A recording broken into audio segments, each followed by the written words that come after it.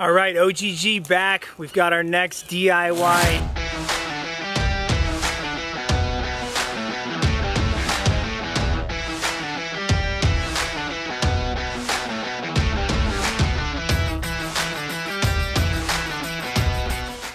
This is super cool because it's a balance beam. We've put together this long balance beam so two people can work on it together. But there's a lot of different things that you can do with the balance beam. I mean, balance training is one of the most important things that you can do within your workouts. Um, we constructed this all by 4x6. It's pre-treated wood. So, you know, we wanted to make sure that it's not going to fall apart. We did a main post of 16 feet. So the main post at the bottom is 16 feet long. And then we have three support posts that are a foot off the ground, so a foot exposure, and then we went two feet down into the ground in a concrete base. So we poured a little footing down there.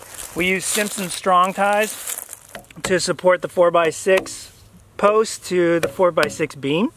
And so it's worked really well and nice and strong. And then over here, we cut two more different posts, um, one being four feet and then one being two feet. So this is really nice. It just adds another element of trying to balance and stabilize by actually working on a step up. So when you have a four inch post, we actually have three and a half inches of diameter across. So it's a pretty narrow space and so you'll, you'll definitely get a good workout, you know, balancing within that, that three and a half inches.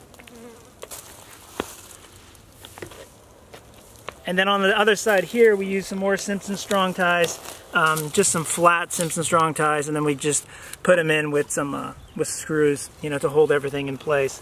So I end up using a, a two and a half inch screw on both sides. I mean, you might be able to get away with a three inch screw, but since we did Simpson Strong ties on both sides, I didn't want the screws to hit.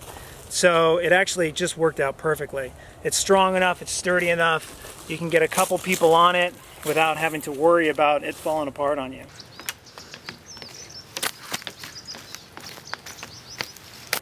Um, another thing that I did was we, we tied in on each side. Um, I put some three and a half inch screws on each side that actually gives a little more support to tie in to each of these beams in addition to the strong ties on the side. So it's very sturdy, very strong, and it's a killer workout.